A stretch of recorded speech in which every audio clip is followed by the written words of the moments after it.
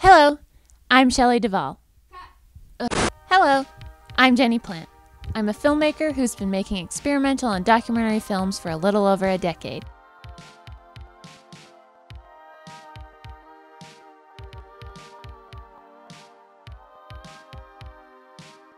And I'm here to tell you about my new film project.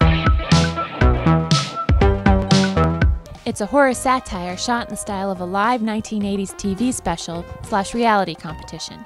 It's like mixing cops with a beauty pageant One of them will be the new Miss America. and a slasher film.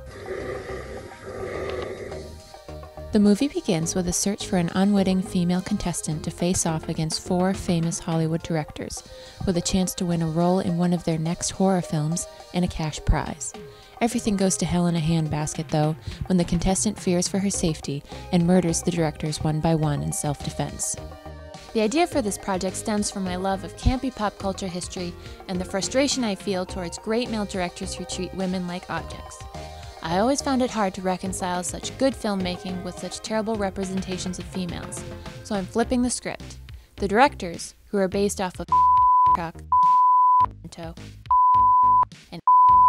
are the victims, and the actress is the pursuer.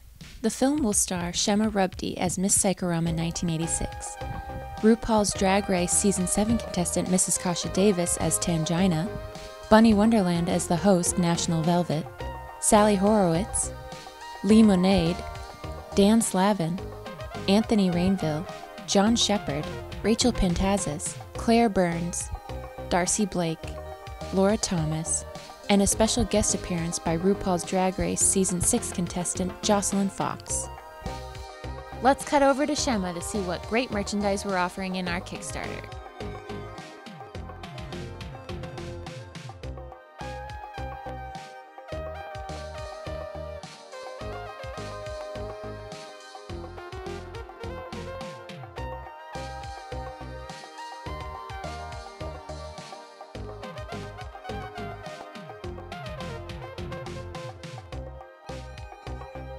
I can't get this project made without your help.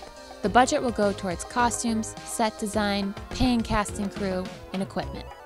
Please consider donating today and come make a movie with us.